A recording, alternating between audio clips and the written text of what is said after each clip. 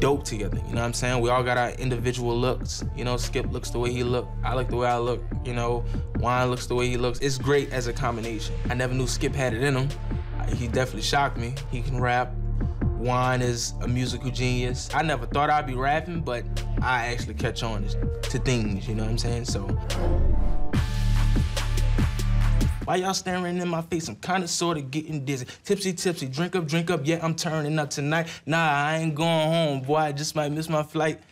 Like something like that, you know what I'm saying? Yeah, just messing uh. around, yeah. Freedia likes us.